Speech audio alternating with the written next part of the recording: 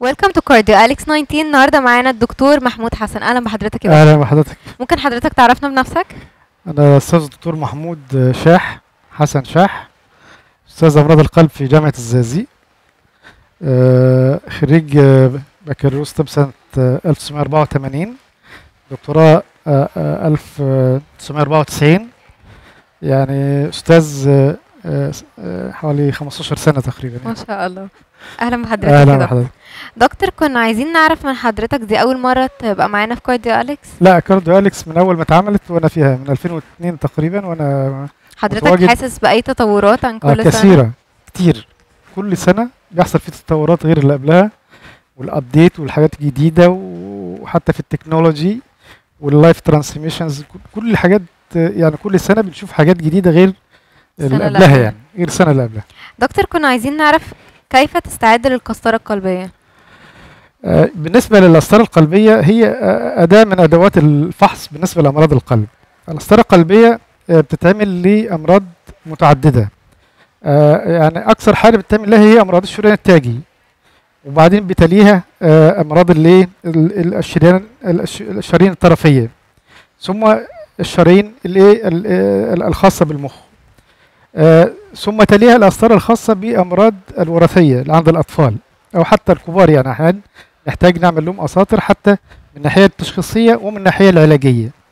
فالأسطرة آه، آه، بالنسبة لنا حاجة أصبحت آه، آه، مهمة جدا لمريض القلب. من غيرها قبل كده يعني كنا بنشتغل بحاجات كلها إيه يعني ما بتساعدناش إن هنوصل للحل الأمثل بالنسبة للمريض بالذات مرض مريض الشريان التاجي.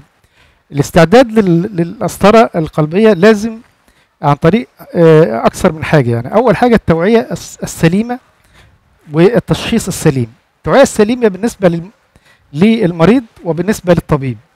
بالنسبة للمريض لازم يعرف إمتى يروح للطبيب المتخصص بتاعه عشان من خلاله هو اللي هيقدر يعرف المرض ومن خلاله يحوله يعمل قسطرة سواء كان علاجية أو استكشافية فقط. أو استكشافية وعلاجية. آه، آه، فالقرار بيكون دايما في الطبيب المتخصص. مش أي طبيب إيه هو اللي يقرر لعمل القسطرة لكن هي التوعية من حيث ال- بالنسبة لعامة الناس يعني بالنسبة للمرضى إنه في أشياء محددة لما يشعر بها المريض لابد أن إيه يذهب للطبيب المتخصص. أهم هذه الأشياء هي الآلام الحادة في القفص الصدري واللي هي بتيجي بصورة تدريجية ثم تزيد فتزيد فتزيد ثم يكون لها إيه؟ مصحوبة بتعرق شديد أو مصحوبة بتقيؤ. هذه الأعراض كلها إيه؟ بتنبئ بتق- بتقول إن هذا المريض يعاني من جلطة حادة في القلب.